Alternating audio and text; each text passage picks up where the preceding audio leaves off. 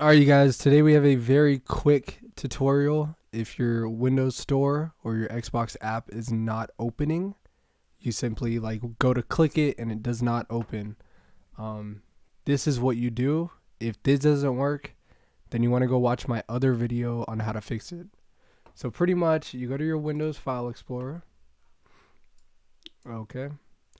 Then you go to local disk. Then you go to program files.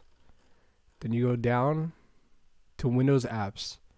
Now if you don't see this, you want to go to view up here and then make sure hidden items is checked.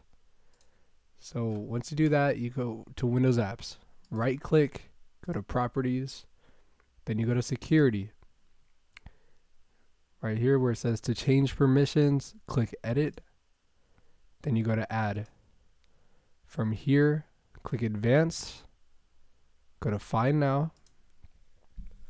Then you go and click all application packages.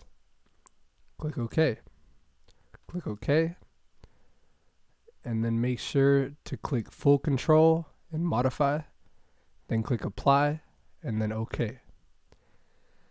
All right, so pretty much what we're doing here is we are adding the right for all application packages to use this Windows Apps folder. Um, for some reason, it, it turns off, or maybe you tried a method and it turned off, um, but but we're adding it back. This should, I'm this should fix your Windows Store. Um, and it should also fix your games. So um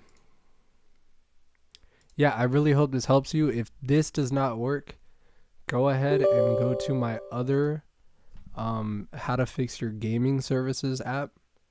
I have a video on that. Go check that out. And if you're still watching, yeah, I'm pretty sick, so excuse the voice. But um but yeah, this is what worked for me and and literally it took me hours and it will take you two minutes. So, all right, you guys, I hope you enjoy the video. Thanks for watching and subscribe, comment, rate. Goodbye.